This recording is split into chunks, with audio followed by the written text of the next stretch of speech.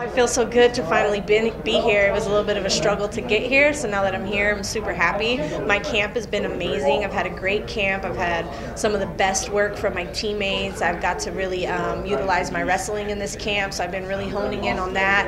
Um, and yeah, I've had a great camp. Everything's ran real smoothly, and it was long, tiring, exhausting, the way a camp should be. When you say struggle to get here, you mean like this week or yeah, like, like this week. This week, like weather yeah, stuff yeah, because I got two canceled flights, and I had to go from Oakland to Kansas City to St. Louis to Philadelphia, where I drove up from Philly yesterday. But I was really happy because I wanted to see parts of New York, and even though I didn't get to go into New York, I got to see like the state line. So, as stressed as I was, I was happy that I got to see some things that I wanted to. as you're going through all that, all those flights and stuff, is there ever, ever a time where you go, man, just I'm going home. This is it. This is stupid. No, never. That's the know, answer I knew you were going to I give would, me. So I would have ran through fire to get here this weekend. I've been waiting for. You know, I've put in a lot of hard work, so there's nothing stopping me from this weekend. obviously, last time out was was not the kind of result you're looking for. How much um, do you put pressure on yourself after after a fight like that?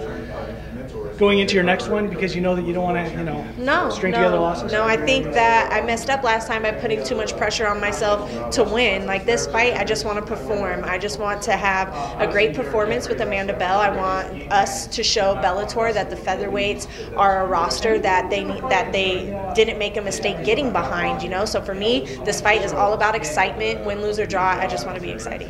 You guys have a couple uh, opponents in common and common results as well. How much of that did you? Exact same result. It's very bizarre. So, how much of that did you? I mean, did you go back and look at her two fights against your common opponents? Did you look at all of her fights? I mean, how? What's your prep process like? Well, I know who Amanda Bell is. I've only been a professional for three years, and she's been a pro for a very long time. So, me coming up in the ranks, I knew who she was. It just so happened that my pro debut was against Marina Shafir, the girl that she knocked out in 37 seconds, and I ended up knocking her out in 37 seconds too. So, I think it's kind of fate, you know? It's kind of fate that we're here now, and it's kind of fate that um, we're here on Bellator. I think that everything happens for a reason, and things come full circle, and here we are.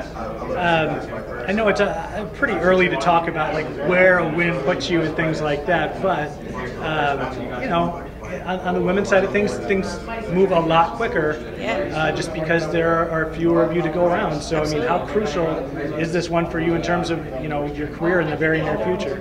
Well, Bellator's given me the opportunity to grow. You know, when I got here, I was a two and one fighter with like a 17 minute pro career.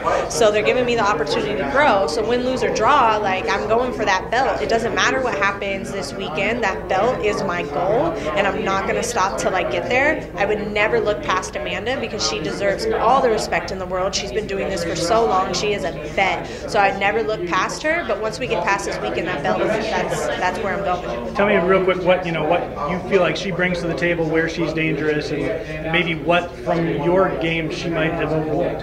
um, my wrestling. I think she's overlooked my grappling and my wrestling, and I think that that's where she thinks that she's going to win this fight. But it's not. You know, I'm a full-rounded fighter. I like to strike. I prefer to strike, even though my fights have only been kind of striking. Um, I believe I showed kind of in the last fight that I am willing to take it there if I need to, and if we get to wrestling and grappling, like I'm fully engaged and ready to be there.